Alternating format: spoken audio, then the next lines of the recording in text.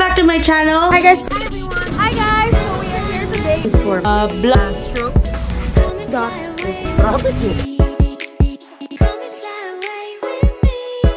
Today, I'm going to show you guys how to do a quick 5-minute makeup 5-minute makeup challenge. Ano daw? Basta, in 5 minutes, makakapag-makeup tayo. Makeup. Bilang today, nagmamadali ako. Papakita ko lang sa inyo. Dati nagawa ko na siya eh. I don't know, When I was there, she put all the makeup on me. Pero hopefully magawa ko siya. Are you ready? Ay, wait. Wala yung cellphone ko. Paano ko siya ito timer? Wait, guys. Wait. Our clock to 5 minutes. Okay, proof. Whew! Napipressure ako. Ready? On your mark. Get set. On your mark. Go. Actually, guys, hindi ako ma um, ma-foundation. Usually, I use this for my foundation, but today, well, we won't be using that. O, di ba? Ang daldal ko, mauubos yung 5 minutes. But anyway, sige, since uh, ma-concealer ako na tao, we will start with concealing. Guys, medyo ma-dark circle ako, kaya okay magugulat kung madami akong mag-concealer. This is really just me. So, you know, yung ibang mga tao, gusto nilang gumamit ng kamay. Kasi daw, yung warmth ng kamay, um, I don't know, it has something to do with uh, yung pagkapit ng makeup sa balat. But ako, with my concealer, I like to use a sponge. So, yun.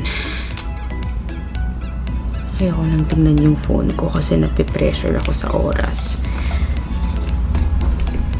But anyway, tiningnan ko din siya. 3 minutes, guys. Ayan. Hopefully, magawa ko siya for you guys. Ayan. Question. Bakit kaya tayong girls, pag nagme-makeup tayo, we make faces like,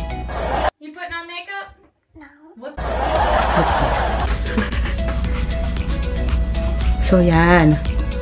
After kong ilagay ang aking um, concealer, we will go ahead and use our powder para lang ma-lock in yung concealer sa ilalim ng mata.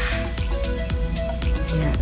So, dab, dab, dab. Sorry guys, medyo nagmamadali kaya hindi ko mapapakita sa inyo ng I mean, hindi ko siya ma-explain sa inyo ng gusto.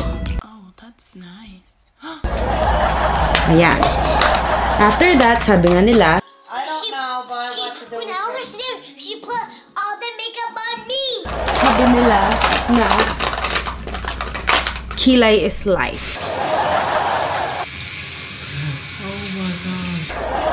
So, syempre, gagawa. Oh my God. So, brush up lang natin ng ating kilay.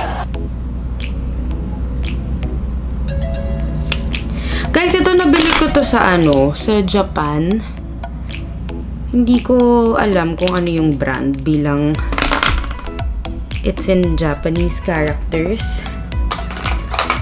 And then, paubos na yung blush on ko, but just for a little color, we will use our itong Fit Me by Maybelline. Yan, pati sa ilong para sun-kissed kunyari. Nagpa-pressure ako sa time, guys. Girl! Ano na, girl? Ayan. And then, after that, you can choose to, ano, um, curl your eyelashes with a curler. Ako kasi kakapakirelip ko lang. Actually, hindi kaka. Pero magwa one month na to. Thank you, Momo. Super special out, sa shout out to you. And then, I use this. You can buy this in their shop. It is, um, their lash moisturizer.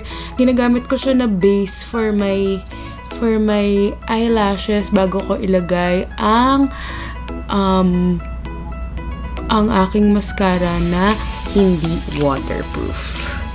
Okay?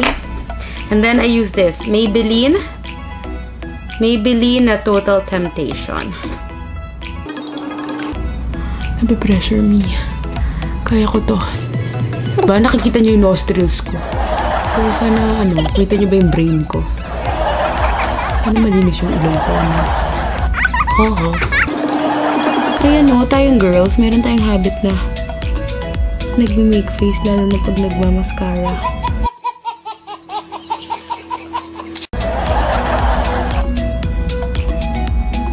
Ayan guys, ayan na, napipressure na ako. Ayan, 37 seconds. Siyempre, kailangan may kulay ang aking lips. But currently, I cannot find my tint. Kaya, buti na lang. Tada! 23 seconds. Rico, baboy. Ayan guys, I got this in premium stain. Thank you so much, Premium Stain, para dito. Ay, ano ba yun? Nagpanik ako. Ayan. So, ayan guys. 5 minutes to do your makeup. If you are in a hurry, minsan naglalagay lang din ako ng pau-pau para lang din hindi mag-dry ang aking lips. 3, 2, 1. Timer. Super madali lang yan. Usually, um, mas pulido pa ako dyan na mag everyday makeup. So again, ang ginamit ko, um, concealer, uh, blush on, lip tint, and powder. Tapos, yung mascara lang for my eyebrows.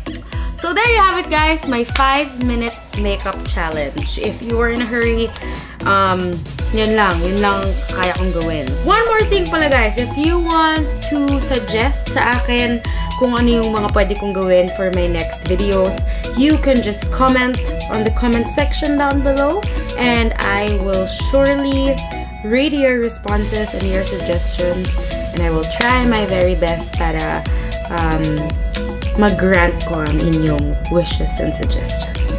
So again, thank you guys for watching. Please don't forget to subscribe to my channel and click on the bell so that you will be notified the next time I post a video.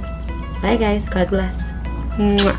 Hi guys. Hi everyone. Hi guys. So we are here today For uh, blast strokes. dots. Come